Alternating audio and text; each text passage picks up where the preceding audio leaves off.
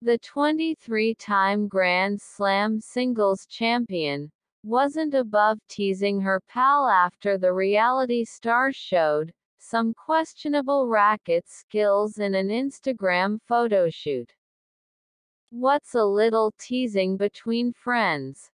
After seeing Kim Kardashian's latest Instagram post, Serena Williams is offering her celebrity BFF some tennis lessons.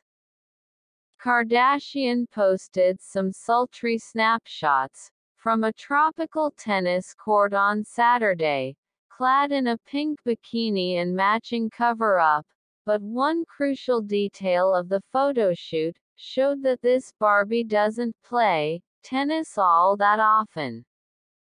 Her grip on her tennis racket prop, flat, and trailing behind her, was a dead giveaway, for Williams and others, and the 23-time Grand Slam singles champion, wasn't above teasing her pal amongst thousands of comments.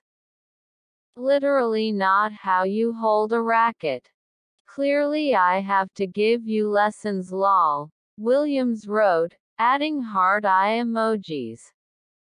Kardashian and Williams have been close friends for years, with both attending each other's respective weddings. The pair are frequently pictured together at high-profile celebrity events, and in July, they attended Lionel Messi's Inter Miami CF debut. But the socialite might need to wait her turn, because Coach Mama has another pupil she's training first, her firstborn daughter.